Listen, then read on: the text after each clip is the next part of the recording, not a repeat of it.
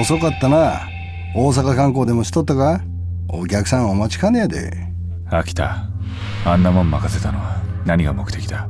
何の話や。変なこと気にしてる場合やないで。アシュラの恐ろしさをたっぷり味わってもらう番やさかいな。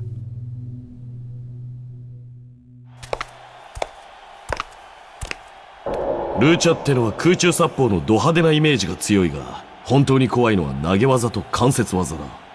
捕まえられると勝機はないぞじゃあこっちはあえて打撃で言ってみるべきか、うん、なんだよ。違うのか？間違っちゃいないが相手は元ヘビー級王者って話だぞ。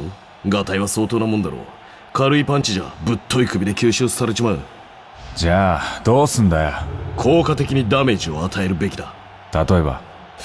例えばそうだな。まず懐に飛び込んで。飛び込んだら捕まれるだろうが。ままあな。じゃあ。もういいって。たく適当なやつだぜ。Welcome to the Ashura! さあドラゴンヒート VS アシュラ。東西地下格闘界のプライドをかけた戦いはいよいよアシュラの本拠地で第2幕だ。なんで陸王がここにいんだよ金になると思って聞きつけてきたんだろまあいつの商売だ。文句は言えないな。陸王の野郎今度おごらせてやる。時間無制限。10カウントノックアウト方式はドラゴンヒートと同じだがさあよーく見てくれ。このド派手なリングを。こいつがただのリングと思ったやつは誰だ？ノーノー背中をロープに預けりゃ大量の電流が流れてくるぜ。スマイそう逃げは打てねえ。全身あるのみ。強制排水の陣。これがアシュラだ。それじゃあこのクレイジーなリングに上がるファイターを紹介するぜ。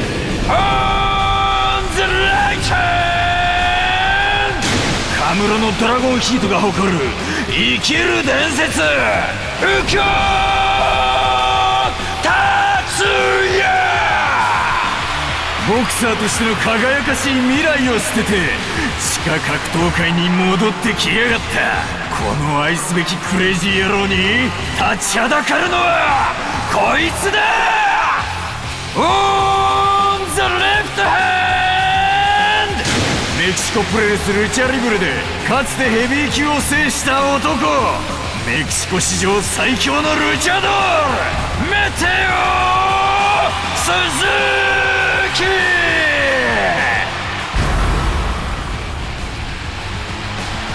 メキシコ中を熱狂させた宇宙から降り注ぐ隕石のごとき空中殺法が今宵も炸裂するかあっとどういうことだ？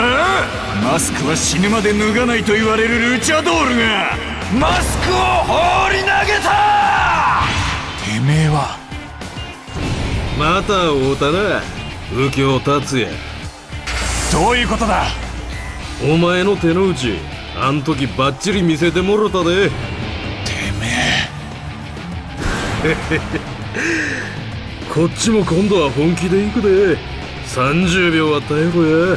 瞬殺やと客が怒るからな。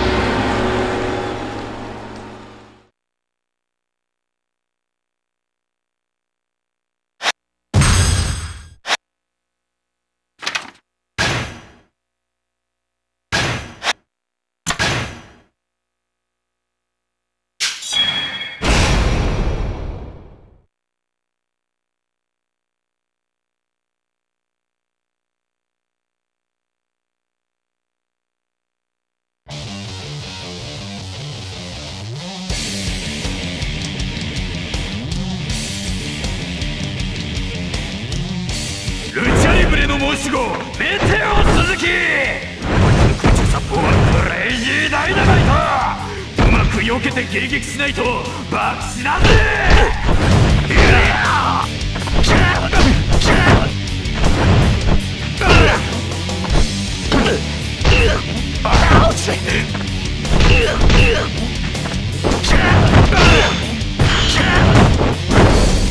メテオこのままでは達也の命が危ないぞ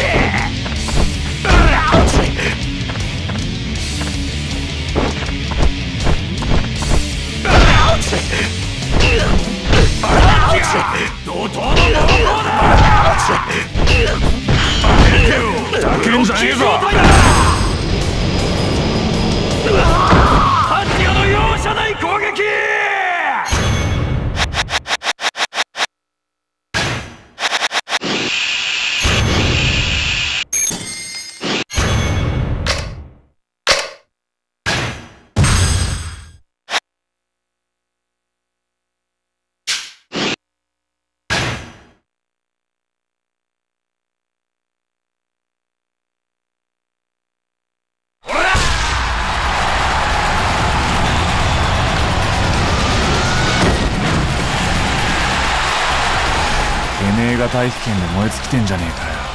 バカ。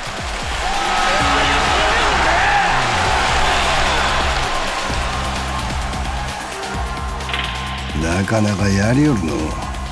感心しとる場合ちゃうぞこら。もしドラゴンヒートに負けてみやわしは登場界に顔向けできんようになるんやぞ。何をビビっとるんですかわしはてっきり新岡さんは登場界を食おうとする勢いで腹くくってわしらと組んどるんやと思ってましたが。そや。分かっとんなろ秋田お前さっさと。落ち着いてくださいや。まあ黙って見といてください。新岡さんもご心配みたいや。大場次はお前が行け任せといてください。まあ負け知らずの男ですわ最強の格闘技とは何かお前の口癖やろ。それを右京に教えたれや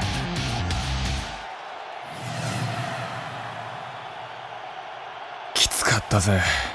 あんな相手初めてだ。でも勝ったじゃないか。やっぱセコンドが優秀だと違うな。アドバイスが大雑把すぎんだよ。どうした？肘にダメージが残ったか？平気だ。なんでもねえよ。これぐらい炎症がひどい。放っておくとパンチが打てなくなる。なんだてめえは。平気だって言ってんだろうが。ここが痛むか？やっぱり。結構ひどい。医務室で見てあげよお前アシュラのドクターじゃねえのかよ。う病人に差別はしない。でも一応誰にも見つからないように一人で来い。さっきのメテオ続きは見なくていいのかよ。後で見る。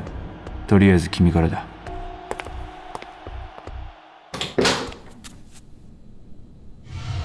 早く入ってドアを閉めて。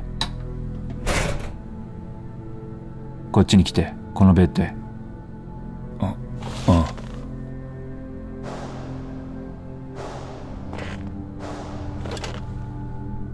お前目が？ああ。昔事故で失明したんだ。ほら手を出して。やっぱりだいぶ酷使してる。動かないで。よし通った？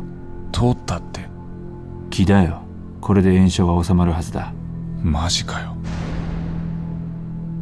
信じられねえ痛みが引いてる。ダメだ。しばらくはあまり動かさない方がいい。おおう。お前名前は？野崎亮。亮か。ありがとうよ。でもなぜだ？何が？さっき病人は差別しないって言ってたけどやっぱおかしい。なぜアシュラの人間が俺を助ける？君が怒っていたからかな。なんだよそれ。人間が本気で怒れるってのは絶望していない証拠なんだ。そういう性格がちょっと羨ましくなったのかもね。は？でもなんだよ。やっぱりねわかる。わかったよ。何が？君はもうこれ以上アシュラと戦わない方がいい。君が相手にしてるのはアシュラであってアシュラじゃない。君はとにかく戦えば戦うほど誰かを不幸にしていく。感想がそう言ってる。達也どこだ？よくわからねえけどよ。俺はここで引くわけにはいかねえんだ。あいつらのためにも。俺のためにもな。そっか。君は強いんだな。でもね僕の元祖占いは外れたことがない。占い？そんなもんは信じねえよ。占いじゃない。運命さ。なあ俺は占いも運命も信じね悲しい未来を教えられれば人間はみんなそう思いたくもなる。わかるよ。